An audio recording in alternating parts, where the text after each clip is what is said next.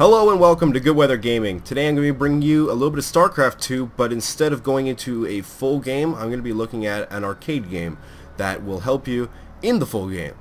So going into the arcade, we're going to go into Browse, and the way to find this game is to uh, sort by all genres, and we can see it right here, it's called the Unit Preloader, but if you don't see it, just type in Preloader into here, and it'll pop up. I found that typing unit into the search bar brought up too many games and oftentimes did not bring this game up at all. So to avoid conflict, just type in preloader.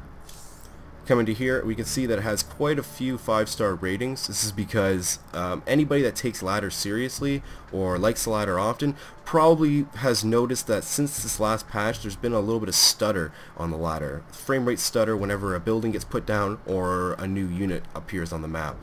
Uh, this is problematic in play obviously because nobody wants their game to be stuttering. They want it to be as smooth as possible.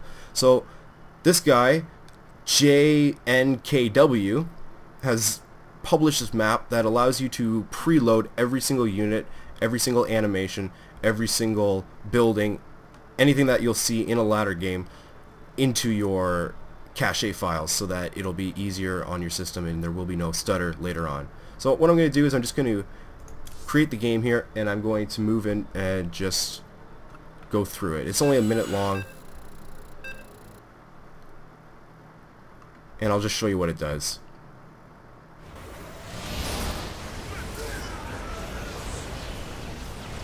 So you can see it's a little bit hectic off this off this, the hop.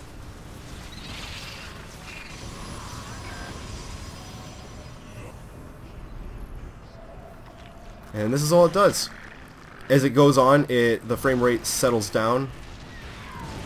And if you run it a second time, you'll notice that your frame rate should be fine.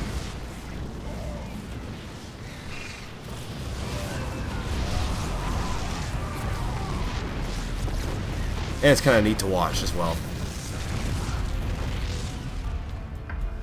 And that's it. I hope you enjoyed this video. Like, comment, subscribe if you did enjoy and I'll see you next time.